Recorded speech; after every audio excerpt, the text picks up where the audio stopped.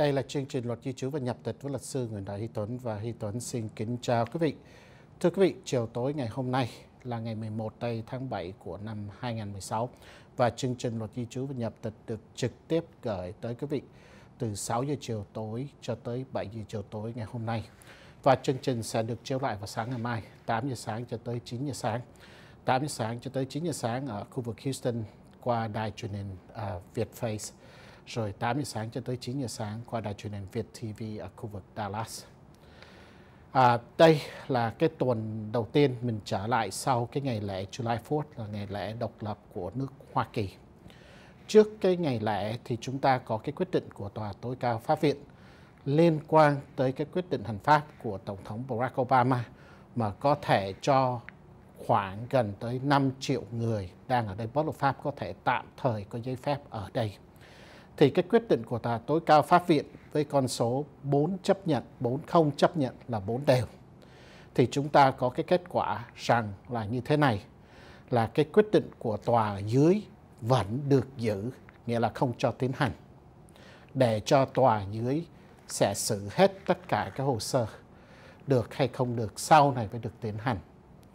Và cái thứ nhì, với cái sự bốn đều như vậy, thì cái quyết định của tòa tối cao pháp viện không trở thành nó gọi là president, nghĩa là tất cả những cái khu vực khác cũng cần tuân theo. Cho nên khi mà chúng ta có cái quyết định của tòa tối cao pháp viện, mà cái quyết định đó tại vì đưa tới cái sự mất của một chánh án bất ngờ vào tháng 3 của năm 2016 thì bây giờ chúng ta sẽ thấy nếu mà không có cái người chánh án mới thì nhiều khi trong cái thời gian từ đây cho tới năm tới thì chúng ta sẽ vẫn thấy những cái giải quyết của tòa tối cao pháp viện mà vẫn là có thể bốn đều hết. Thí dụ giống như là cái vấn đề của quyết định hành pháp và những cái quyết định trước đây đã xảy ra. Rất là hiếm, thời gian rất là hiếm trước đây mà chúng ta có cái quyết định đều như vậy. Nhưng mà bây giờ nếu mà không có một cái chán án mới thì chúng ta sẽ thấy nhiều cái tình trạng như vậy thì khi mình thấy cái tình trạng mà tòa tối cao pháp viện không có giải quyết hoặc là không có cái quyết định gọi là mà chính xác tại vì nó là bốn đều thì nó lại đưa tới cái vấn đề mà Tuấn nghĩ là cái vấn đề mà thay đổi cái mặt luật di trú. Thay đổi cái mặt luật di trú, cái thời điểm nó phải chính xác xảy ra để cho tất cả cái điều kiện nó có thể nó có thể xảy ra để cho nó có thể thay đổi được. Tuấn cho một cái thí dụ đi. Khi chúng ta nói về thay đổi cái mặt luật di trú thì chúng ta nói bắt đầu năm 2005. Năm 2005 thời điểm đó chúng ta có tổng thống của bên Republican là bên à, Cộng hòa. Rồi chúng ta có cái quốc hội bên Dân chủ. Okay. Nhưng mà tới giờ cuối cùng bên Thượng nghị viện lại không muốn thay đổi cái mặt luật di trú hoặc là có cái trục trặc về chính trị bên đó. Rồi cái thời điểm lại tới thêm một lần nữa là năm 2013 khi Thượng nghị viện lại chấp nhận Tổng thống sẵn sàng ký nhưng mà Hạ viện lại không đưa ra cái dự luật để có thể đưa cái cái cái con số bầu cử ra. Cho nên cuối cùng chúng ta lại không có cái sự thay đổi trên mặt luật di trú và chúng ta lại có cái quyết định của Tổng thống Barack Obama. Nhưng mà cái quyết định đó cũng không được tiến hành tại cái kiện tụng trên tòa. Kiện tụng trên tòa cho tới ngày hôm nay là không được tiến hành với cái quyết định vừa vừa ra cách đây hai tuần. Nói tóm lại, cái vấn đề hệ thống di trú Hoa Kỳ cần thay đổi, cần cải chính. Nhưng mà ngược lại, với cái sự khó khăn về chính trị với cái hệ thống hiện tại bây giờ về cái check và balance nó rất là khó cho dù cái bầu cử mới sẽ xảy ra rất là khó để thay đổi cái mặt luật di trú hoàn toàn nữa. Cho nên chúng ta sẽ có một cái hệ thống giống như ngày hôm nay. Càng ngày bảo lãnh cho thân nhân càng lâu. Đó. Rồi hy vọng sẽ có cái thời điểm nào đó cho nên tất cả những cái cơ quan, tất cả từ bên tổng thống bên à, hành pháp cho tới bên luật pháp cho tới bên tư pháp tất cả hết có thể đưa ra cái sự thay đổi trên cái mặt luật di trú khi có thì Tuấn sẽ thông báo cho quý vị trên đài truyền hình. Và bây giờ cho Tuấn xin mời quý vị gọi vào cho chương trình chiều tối nay. Số điện thoại là số toll free 844 858 7000. Đó là 844 858 7000. Phần 2 của chương trình thì Tuấn có cái visa Bolton của tháng 8 năm 2016. Và trước khi trả lời điện thoại cho quý vị thì cho Tuấn nhắc nhở là quý vị gọi vào làm ơn chuẩn bị cái câu hỏi và cái thắc mắc của quý vị. Viết ra nếu mà cần thiết, especially nếu mà cái chi tiết và cái câu hỏi nó liên quan tới cái mặt luật C-SPA. Và khi quý vị gọi vào rồi làm ơn vặn nhỏ cái tivi xuống và nói chuyện với Tuấn giống như là nói chuyện bình thường, bình thường qua điện thoại mà thôi. Nếu mà Tuấn không còn câu hỏi gì nữa thì quý vị có thể cúp điện thoại và bật TV trở lại. Nếu mà quý vị không nghe kịp cái câu trả lời của Tuấn thì nhớ rằng cái chương trình này sẽ được chiếu lại. Và đồng thời chương trình này và tất cả những cái chương trình trước đây đều có trong YouTube cho quý vị hết. YouTube thì quý vị chỉ cần search hoặc là tìm luật sư Nguyễn Đại Hiếu Tuấn thì nó sẽ xuất hiện ra gần tới 200 chương trình kể từ năm 2001 cho tới bây giờ để cho quý vị có thể xem lại hoặc là tìm hiểu cái gì mà nếu quý vị còn thắc mắc. Bây giờ cho Tuấn xin mời đường dâu đường dây đầu tiên đó là chị Phương ở khu vực Dallas. Xin mời chị Phương lên tiếng điện. Dạ, hello, xin chào luật sư ạ. Dạ vâng, xin chào cô ạ. À, dạ, cho em hỏi là em đang à, làm đơn bảo lãnh ba mẹ đó. Bây dạ giờ vâng. đang điền cái đơn Y864. Dạ vâng. Mà hiện tại là em đang à, mới có một cháu thôi, đang có bầu khoảng một tuần nữa là sanh đó. Không biết là trong đơn vậy là khai bốn người hay là ba người được chưa? À, thưa cô Phương, à, giữ cho nó đơn giản thôi cô Phương. Ok. Ngoài cái câu hỏi này cô Phương còn câu hỏi gì khác cho Tuấn nữa hay không? Ừ, dạ không ạ. Ok. À, cảm ơn cô Phương rất là nhiều. À, thưa cô Phương, à, theo Tuấn á, khi mình làm mấy cái này giữ cho nó đơn giản thôi. À, giữ cho nó đơn giản là như thế này. Giả sử trên cái mặt luật nó đòi hỏi bao nhiêu người trong gia đình. À, theo Tuấn nếu mà bây giờ đang mang thai mà chưa có sanh đẻ sanh sanh đẻ em bé thì vẫn kê khai là ba người. Còn nếu mà khi mình nộp rồi mình đã sanh rồi đó thì mình có thể mình bổ túc sau đó. Hoặc là nếu mà khi nộp lúc đó mới sanh thì nó trở thành bốn người. Hoặc là đừng có quên là sau này trước khi phỏng vấn đó, mình cần update à, cập nhật lại cái bảo trợ tài chính thì lúc đó add thêm một người nữa cũng không có sao. À, mấy cái này nó đơn giản thôi nhưng mà cái quan trọng á ba người hay là bốn người sau này make sure cái con số trong cái bảo trợ tài chính mình đầy đủ hết. À, cảm ơn cô Phương rất là nhiều. Và cùng tiếp tục khu vực Dallas đó là Garland, Texas. Xin mời anh Dương xin mời anh Dương lên tiếng đi ạ. Dạ, tôi tên là Dương, tôi chào luật sư Tuấn ạ. dạ vâng Dạ, tôi ở Gia Lâm có các câu hỏi liên quan về vấn đề đổi thẻ xanh 10 năm. Gia đình tôi có hai vợ chồng và đứa con gái. Ngày 18 tháng 6 vừa qua, chúng tôi có nhờ văn phòng ờ, dịch vụ nhờ giúp renew thẻ xanh 10 năm. Và nay chúng tôi đã nhận được receipt number của cả ba người. Và và tất cả ba lá thư hướng dẫn mở ACTA online. Riêng hai vợ chồng tôi đã có giấy hẹn đi lăn tay. Còn con gái tôi thì chưa có giấy hẹn đi lăn tay. Thì tôi xin nói rõ, con gái tôi qua Mỹ, lúc cháu mới 5 tuổi, nay cháu 15 tuổi. Và thẻ xanh của cháu thì khi đó không có lăn tay. Tôi xuất nhập và trích lại copy đơn A90 của cháu. Thì phát hiện ra đơn của con gái tôi quên không ghi ngày tháng, chỗ ký tên.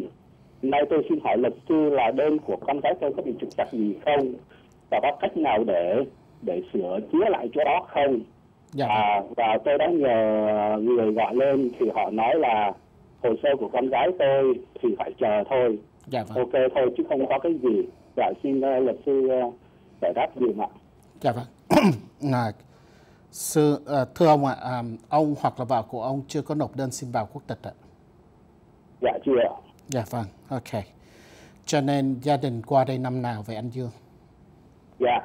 Gia đình tôi qua đây năm 2006 ạ. theo diện gì ạ Dạ theo diện đoàn tụ gia đình phát cách 3 Dạ vâng. Ok, nếu mà ông Dương không còn câu hỏi gì thì tôi sẽ cố gắng trả lời cho ông.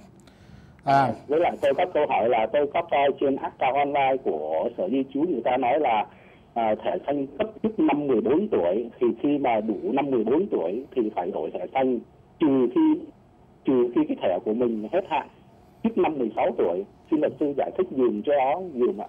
Dạ vâng. Dạ cảm ơn ông rất là nhiều. À. dạ vâng. Dạ vâng. À, đây cái câu hỏi của ông Dương ở thành phố Garland nó liên quan về cái thủ tục gọi là Y90 Y90 là cái thủ tục để cho mình gia hạn thẻ xanh 10 năm cho thêm 10 năm hoặc là nếu mà cái thẻ xanh của mình à, bị bị thất lạc hoặc là bị mất thì mình có thể điền cái Y90 hoặc là nhiều khi cái thẻ xanh cái chi tiết nó sai thì mình sử dụng cái Y90 để điều chỉnh cái thẻ xanh của mình. Nhưng mà trong cái câu hỏi của ông Dương thì cái Y90 cho ba người, hai vợ chồng và một đứa con. Một đứa con bây giờ là 15 tuổi. Ok. À, hai vợ chồng đã có cái hẹn đi lăng tay rồi đứa con chưa. Thì cho Tuấn nói sơ qua về cái vấn đề lăng tay. À, lăng tay cho cái vấn đề thẻ xanh thì à, dưới 14 tuổi không cần lăng tay chỉ cần đi chụp hình thôi. Cho nên đó là tại sao lúc mà em nó qua bên Mỹ đầu tiên vào à, năm 2005, lúc đó chỉ có 5 tuổi hoặc là à, 4 năm tuổi thôi. Thì đó là tại sao không có cái vết tay của em ở tại con nít dưới 14 tuổi người ta không lấy cái vết tay. Đó là cũng là cái lý do tại sao Sở Di trú khuyến khích quý vị nếu mà con nít mà vẫn là thẻ xanh sau khi 14 tuổi cho dù thẻ xanh chưa có hết hạn cũng lên làm cái Y90 để cho Sở Di trú lấy cái vé tay. Đó, thì cái đó là trả lời cái câu hỏi thứ nhì của ông về cái vấn đề mà à, con nít trên khi 14 tuổi. Nhưng mà trở lại cái hồ sơ của ông là nếu mà cháu nó trên 14 tuổi rồi lúc mà làm cái 90 vào tháng 6 vừa qua và khi làm đóng cái lệ phí đầy đủ hết là 450 thì tôi nghĩ sớm hay muộn xảy chú cũng mời cháu đi lăn tay và chụp hình thôi. À, nhớ rằng là khi mình nộp cùng một lúc không nhất thiết là sở chú giải quyết cùng một lúc khác đâu. Mỗi hồ sơ là một cái hồ sơ theo cái thứ tự riêng biệt thôi. Chứ người ta không có gom lại cho mỗi gia đình như vậy đâu. Cho nên Tuấn nghĩ nó chuyện bình thường thôi. Sớm hay muộn cháu nó sẽ có cái hẹn để đi lăng tay và chụp hình make sure cái lệ phí đóng cho sở di trú là đúng là 450. Cảm ơn ông Dương rất là nhiều ở khu vực Garland, Texas. Bây giờ cho Tuấn xin à, mời đường dây kế tiếp. Đó là Bảo Trân. Bảo Trân hiện tại đang ở tiểu bang New Jersey. À, Bảo Trân, welcome cho cái chương trình. Bảo Trân gọi từ thành phố nào ở bên New Jersey vậy? Dạ, con gọi từ Twitter New Jersey đó là sir. Dạ vâng. Bảo Trân đang theo dõi chương trình trên Uno, trên web hay là trên TV ạ? Dạ, trên Uno. Dạ vâng. Bảo Trân có câu hỏi, có thắc mắc gì để cho tôi giúp trả lời cho cô? Dạ, dạ. Um, con hỏi này nè luật sư, mẹ con làm um, bảo lãnh cho em của con với, với dạng F2A. Rồi tới uh, cuối tháng 3 là con nhận được hết giấy tờ là nói all required document complete, chỉ có chờ để đi interview thôi. Người ta nói cho người ta khoảng 60 days. Mà bây giờ con đợi là hơn 120 ngày rồi đó mà không có thấy giấy tờ gì để em đi interview. Hết đó là cơ mà em con mới có 18 tuổi nó ở bên đó có một mình à, mà con không biết đợi bao lâu nữa rồi nó có bị trên 21 tuổi không? Người có cho không? Dạ vâng. Bảo Trân, cho Tuấn hỏi là mẹ làm hồ sơ bảo lãnh cho đứa em. Cái ngày ưu tiên là ngày nào vậy? Dạ ngày uh, February 6 Năm Dạ. Ừ, năm nào ngày, cô? Ngày 5 5 tháng 2 ạ. À. Ngày 5 tháng 2 năm nào cô? Dạ, um, năm 2015. Dạ vâng. Ok Bảo Trân, um, nếu mà Bảo Trân không còn câu hỏi gì khác thì Tuấn sẽ cố gắng trả lời cho Bảo Trân và lần nữa welcome cho cái chương trình luật di trú cô. Um, dạ. dạ vâng, dạ vâng chào cô. Ok, trở lại cái cái trả lời của Tuấn cho Bảo Trân ha. À, trước nhất là đây là hồ sơ F2A thẻ xanh bảo lãnh cho con dưới 21 tuổi độc thân.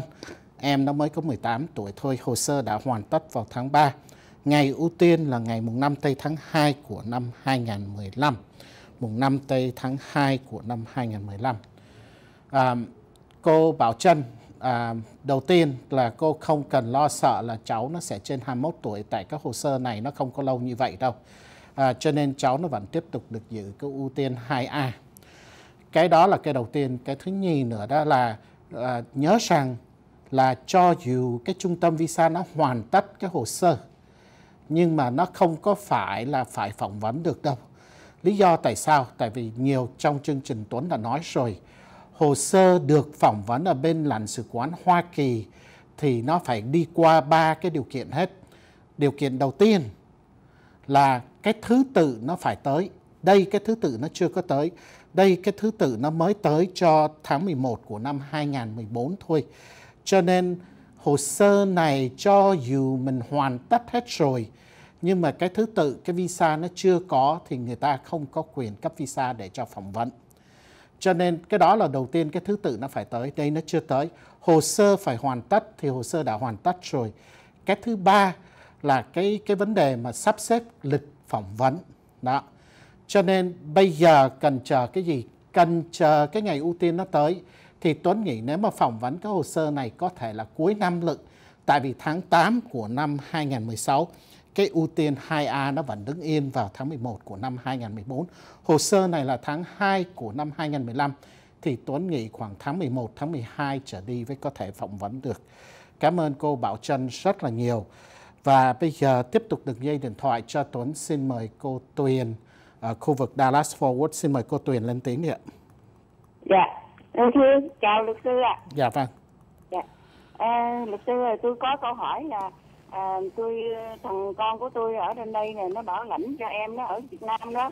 Mà hồ sơ, hồ sơ nó là ngày 27 tháng 5 à, 2004 mà tôi được biết là à, hồ sơ đó à, bắt đầu mở rồi. Vậy xin hỏi luật sư chứ chừng nào mình mới nhận được cái giấy à, người ta nói mình à, đóng tiền. Mà già đóng tiền là đóng bao nhiêu một người? Dạ xin hết à cảm ơn luật sư nhiều. Dạ vâng. À, cho tôi hỏi cô Tuyền ha. À, con của cô đang ở đâu? Cái người bảo lãnh đang ở đâu ạ? Dạ thưa ở đây ở phố phố phố quận này ạ. Dạ vâng ok cô. À, dạ Thưa cô, cô nếu mà cô không còn câu hỏi gì tôi sẽ trả lời cho cô. Cảm ơn cô rất là nhiều. Dạ, um, dạ vâng, thưa cô, um, hồ sơ được phỏng vấn là những cái hồ sơ trước năm 2003, trước ngày mùng 8 tây tháng 9 của năm 2003. Cho nên hồ sơ anh chị em đang phỏng vấn trước ngày mùng 8 tây tháng 9 của năm 2003.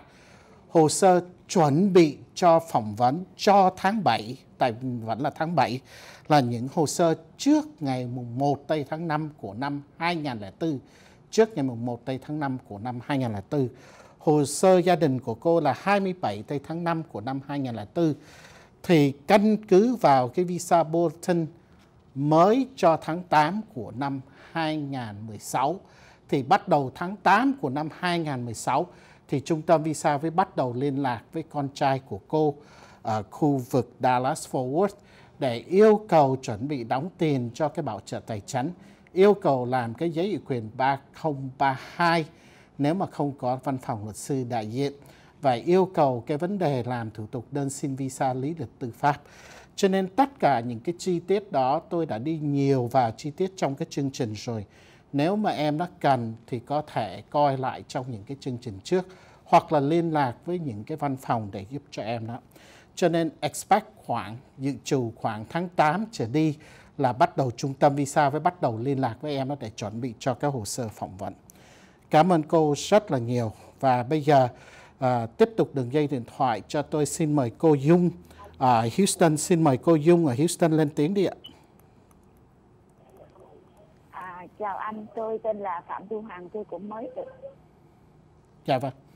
Cô Dung có, có câu hỏi gì cho tôi vậy cô? À, à, bây giờ là phải để, bây giờ phải đọc câu hỏi phải không anh? Dạ vâng, xin mời cô đầu tiên để à, để cho tôi hỏi cô, cô tên gì vậy cô? Dạ, dạ, chào anh, tôi tên là Phạm Thu Hằng anh. Dạ vâng, cô Thu Hằng, cô đang ở thành phố nào vậy cô? À, đang ở đường Hai Star đó anh. Ok, đang ở Houston. Cô Hằng, dạ, cô có vâng. câu hỏi gì để cho tôi giúp trả lời cho cô? Dạ, Ê, thưa anh cho tôi hỏi thăm là tôi cũng mới từ Việt Nam sang đó. Dạ vâng. Thì à, ba mẹ con tôi, à, thế thì tuần trước tôi có nhận được cái cái thẻ mà Social Security á, dạ, ba vâng. người mà có hai cái thẻ thôi. thì bản thân tôi có một thẻ một đứa con gái 17 tuổi có một thẻ. Thì và cái đứa con gái thứ hai thì chưa có thẻ. Thì à, không biết là như vậy là có lẽ là sổ an tờ an sinh xã hội người ta gửi thiếu cho mình một thẻ. Thì nếu đúng như vậy thì tôi phải làm gì? Câu thứ nhất câu thứ hai là tôi sẽ ngồi ở đây tôi ngồi ở nhà tôi chờ thẻ xanh tới hay là tôi có phải làm gì hay không? Dạ vâng. À, cho cho tôi hỏi cô cô Hằng gia đình cô và hai đứa con qua đây theo ai bảo lãnh vậy? Dạ thưa mẹ của tôi bảo lãnh. Dạ vâng. Ok cô. Thưa cô ngoài cái câu hỏi vừa qua cô còn câu hỏi gì khác cho tôi không? Dạ thưa thế thôi. Dạ vâng cảm ơn cô Hằng rất là nhiều. Thưa cô à, nếu mà trong vòng 30 ngày nếu mà an sinh xã hội của cháu nó chưa có về thì cô hoặc là cháu đó có thể lên sở an sinh xã hội để hỏi trực tiếp người ta. À, thường thường khi mà mình làm cái thủ tục định cư cho một người thân chủ thì thường thường mình yêu cầu cái à, cái sở an sinh xã hội gửi cái sở gửi cái thẻ an sinh xã hội trực tiếp về nhà cho người ta luôn. Nhưng mà trở lại cái câu trả lời giống như một người trước cô nhớ rằng mỗi người là một hồ sơ không nhất thiết nó phải đi cùng một lúc đâu.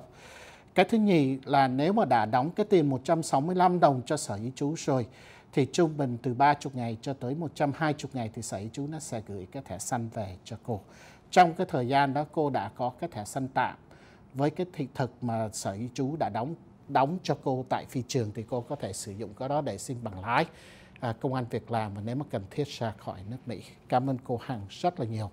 Thưa quý vị, tới đây hết thì giờ cho phần đầu của chương trình chiều tối nay và chúng ta sẽ trở lại phần 2 trong vòng giây lát.